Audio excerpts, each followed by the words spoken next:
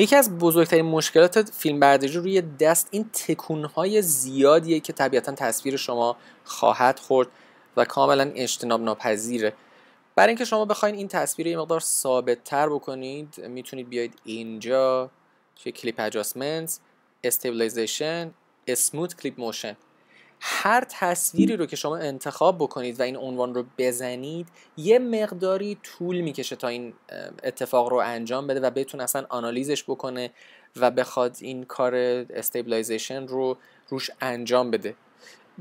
به خاطر اگه کلیپ بلندی هست بعد یه مقدار براش وقت بذارید و متاسفانه هیچ راه دیگه هم نداره باید اون زمانی که از شما خواسته رو کنار بذارید برای این کار و از زمانی که تموم بشه میشه این کار رو نه محصولش رو دید. حالا خوشبختانه اینجا کلیپ ما خیلی کوتاه بود.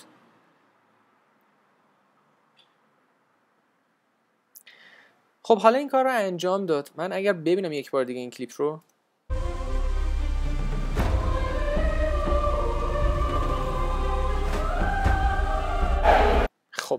این کار خیلی خوب انجام داد. فقط تنها مشکلی که وجود داره باز اینجا یه آیکون این شکلی شبیه مار. شما می‌بینید که به خاطر اون لرزش های دوربین و stabilize و اون stabilization ی که ایجاد شده این آیکون مار رو اینجا اضافه می‌کنه.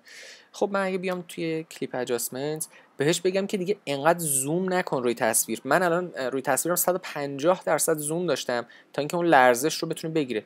من میگم خب حالا 20 20 درصد زوم بکن که بشه 120 درصد. ولی یه خوردم خب تکون خواهم داشت. حالا ببینیم چی میشه.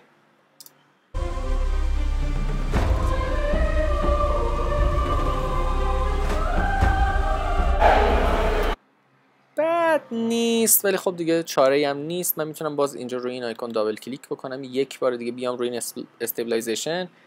یه خورده بیشترش بکنم. و done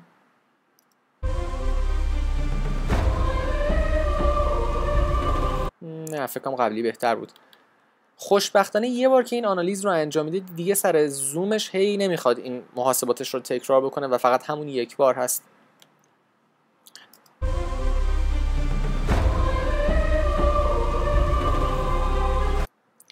خب حالا اینجا ممکنه من بخوام یه خوردم من کنتراست این تصویر رو بیشتر می‌کنم. خیلی به نسبت این موسیقی و به نسبت این اتفاق بیرمقه اینجاها خیلی تیره میشه البته خب یه همچین چیزی شاید بعد نباشه. یک سچوریشن یک نمورم کنتراستش رو پایین. خب یه کم هم شاید بشه زرد ترش که یه ذره. خب من دوباره برمیگردم توی کلیپمون. حالا اینجا ما یه عنوان دیگه هم داریم به اسم اسپید یا همون سرعت که خیلی واضح هست. اگر این خرگوشه رو شما هرچی به سمتش برید کلیپتون سریعتر میشه به زمانش قاعدتا کمتر میشه. هرچی کندترش بکنید زمان کلیپتون بیشتر میشه و slow motion تر خواهد شد. من اگه بگم 12 درصد سرعت واقعیش باشه طبیعتا 53 ثانیه میشه زمان کلیپم من میگم مثلا 50 درصد سرعت اصلی باشه.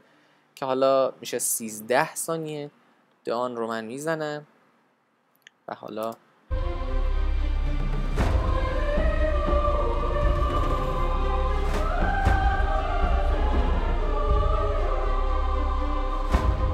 بعد نشد. به نسبت چیزی که بود الان فکر می‌کنم بهتره با 50 درصد سرعت. شاید یک کم بشه سریعترش کرد که متاسفانه فقط 50 و 100 داره من رو همون 50 میمونم.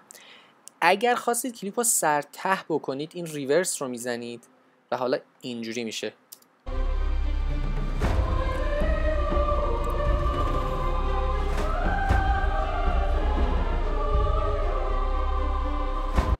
خب حالا با توجه به زمانی که داریم من اصلا می‌تونم انتهای کلیپ رو و ابتدای کلیپ رو اصلا از جاهای دیگه انتخاب کنم. می‌تونم بگم مثلا از اینجا رو دوست دارم تصویر باید انتخاب می‌کردم. تا مثلا اینجا که دیگه خیلی ناجور میشه که حالا یه چیزی حدود 4 ثانیه 3 و 7 دهم ثانیه است بکنم کافی کامند بی و خب حالا یه همچون تصویر دارم. که بد نیستش فکر می‌کنم برای این چیزی که ما داشتیم و کلیپی که داشتیم به نسبت خوب اینجا هم همونطور که شما یه آیکون دیگه هم اضافه میشه. که نشون میده شما سرعتتون هم روی این کلیپ تغییر کرده.